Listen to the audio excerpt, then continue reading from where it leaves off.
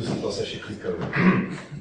Bine, eu sunt Attila, în revistă scrie la Udacity, într-adevăr lucrez și la Udacity, dar uh, legat de articol și de prezentare, sunt aici ca și trainer de Java, să zicem așa.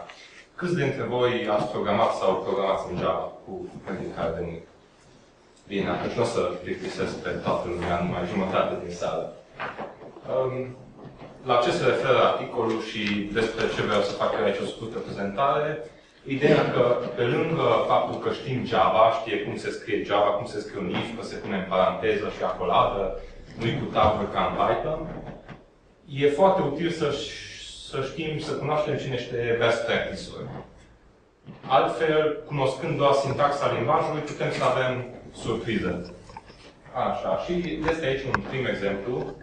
Uh, cei care știu Java sau .NET care are un sistem asemănător, să vadă că avem valori boxed și unboxed sau valori primitive uh, de la plus 0 și minus 0. Și, din nou, dacă știți Java sau .NET, o să știți că valorile box se compară cu o metodă, respectiv valorile primitive se pot compara cu egal egal. O întrebarea mea ar fi, câți dintre voi ziceți că și valorile evident sunt minus 0 și 0? Uh, pe, la valorile floating point, de obicei și în Java, uh, sunt reprezentate prin modul sign and magnitude. Deci aveți un bit de semn și aveți uh, restul. Deci putem să avem plus 0 și minus 0. Există amândouă valori. Pot fi reprezentate. Acum, întrebarea mea, întrebarea mea ar fi, să nu mă vorbesc prea tare, câți dintre voi credeți că plus 0 și minus 0 îi sunt egale când uh, sunt box?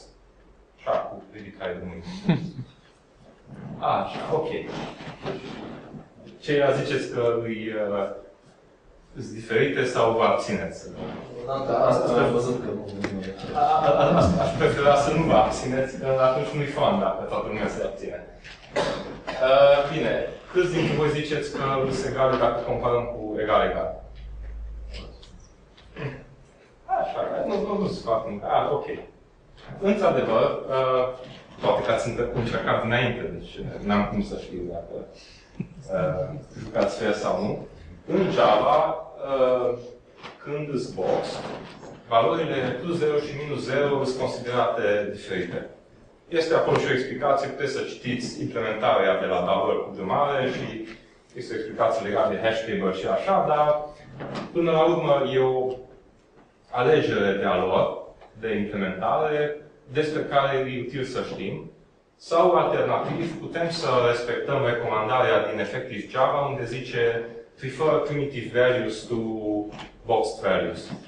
Deci acolo ne recomandă ca Effective Java să folosim double gândit și nu am avea această situație ciudată.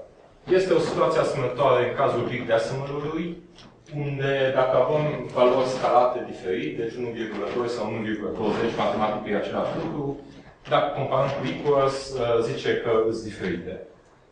Și aveți acolo un link către un blog post unde am uh, încercat cu mai multe limbaje. Dacă sunt fine.net, să fie bucuros să audă că în .NET și valori box și valorile box sunt considerate egale. Dar până la urmă ce e important să folosim valorile primitive. Bine. Uh, un alt caz.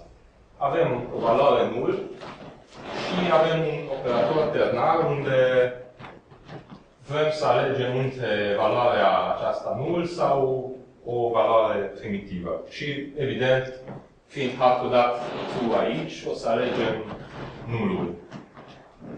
Ce o să afișeze uh, print line de la sfârșit? Cine zice că afișează null? Dacă nu-i fan, dacă nu jucă.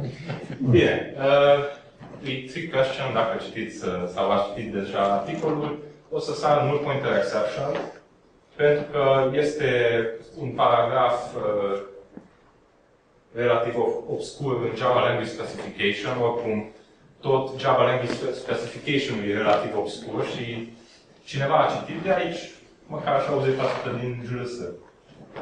Wow, deci mă, mă înclin. Eu am citit așa paragrafe când nu înțelegeam ce se întâmplă. Uh, și aici nu înțelegeam ce se întâmplă. Zice în Java Language Specification, dacă avem un operator ternar în care pe o parte avem uh, o primitivă și pe partea cealaltă avem uh, tipul box a, acelui, a acelui primitive, nu sigur de genul aici, dar vedeți voi, uh, tot, toată expresia e considerată de tip primitivă și atunci vrea să aducă și această valoare box la tipul primitivă și când apelează double value pe el, sare nu pointer exception chiar pe această linie. Din nou, efectiv Java prefer primitive types. Bine, încă două și îți gata. Aceste două expresii sunt echivalente. Probabil ați văzut uh, amândouă expresii în cod. Zic același lucru, avem o colecție, conține 0 elemente sau e o colecție goală, e același lucru. Una la mână a zice că e de preferat această variantă pentru că e mai sugestiv ce vrea să zică. Zice, dacă colecția noastră e goală.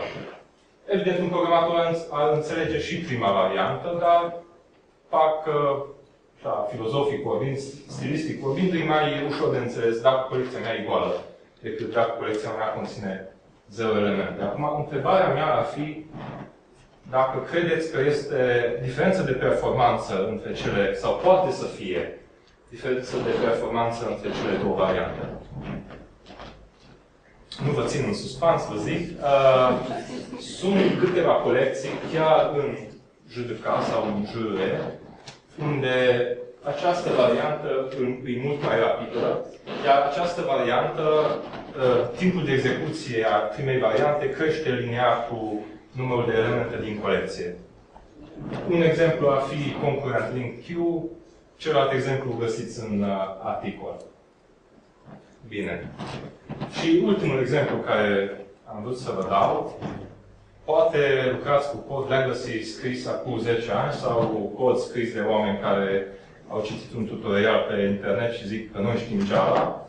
Uh, de fapt, ce vrea să facă codul acesta? Cu ce colecție ar, ar fi echivalentă? Că vector e colecția greșită aici, nu ce vrea să zică. De câte ori, de câte ori ar trebui să fie prezent un element în această colecție? Maxim. Exact. Deci vrea să zic că dacă nu conține, atunci adăugăm. Deci, practic, vorbește despre un set, numai că a greșit tipul de container. Nu. No. Sunt multe chestii greșite cu acest cod. Un singur lucru care vă zic și restul găsiți în articol, uh, vectorul este sincronizat. Deci dacă folosiți în cod single threaded astfel de cod, aveți un penalty de performanță pentru că ați folosit o structură de date sincronizată, chiar dacă... Dar nu e deja marcat deprecated, cred că. E marcat deprecated, dar deci, teoretic și ideurile mai noi ar fi deja să semnaleze. Da. Adică ar fi da, folosit da, list sau da, în cazul să se... sunt complet de acord. Se găsește în cod și poate să creeze multe probleme și să ascunde alte probleme. Bine, după ceva la trecut timp sau... Bombă? Ok. Uh, două cărți care vă recomand, dacă n-ați citit cumva, este Reactive Java și de faptul că relativ vechi, din 2005-2006, e a doua ediție. A trebuit să fug totuși. da. Uh, ok. Dar conține multe sfaturi uh, utile. Deci, chiar dacă scrieți cod Java, uh, e o carte foarte bună care povestește despre cum să scrieți cod Java. Este Java Puzzlers, care din nou vă arată niște bucăți de cod interesante de Java și un exemplu cum, cum să nu scrieți cod Java, că creați probleme. Așa, cam jumătate am văzut că folosiți Java, restul și pentru restul, dacă cumva folosiți foarte, nu pot să generalizez, este o carte modernă, care din nou vorbește așa, nu neapărat despre sintaxă, dar cum să scriem cod frumos în Perl. Uh, din păcate, despre alte limbaje n-am găsit uh, cărți echivalente, eu știu doar de acestea.